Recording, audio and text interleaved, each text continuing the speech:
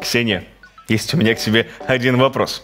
А ты часто в городе замечаешь людей, которые активно, скажем так, передвигаются и помогают себе палками, которые на самом деле даже и не для лыж-то предназначены? Ну, на самом деле часто, и знаю, что это называется северная ходьба. Да, северная ходьба. Хотя, казалось бы, да?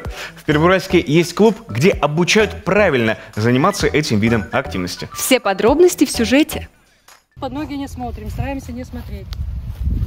И раз, два.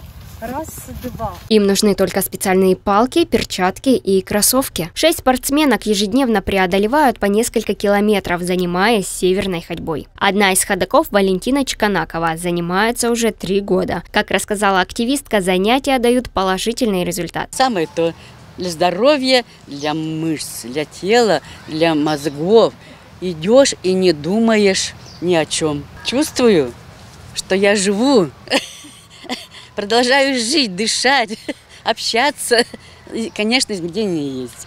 Северная ходьба появилась в 1930-х годах в Финляндии как особая форма тренировок лыжников. А спустя 80 лет ходьба, которую в народе прозвали скандинавской, стала популярна и в России. Первоуральск тоже не обошла стороной данной активность. Жители стали собираться в группы и организовали клуб северной ходьбы «Ходоки-2021», а уже через год переименовались в «Рассвет это здоровье, повышается иммунная система.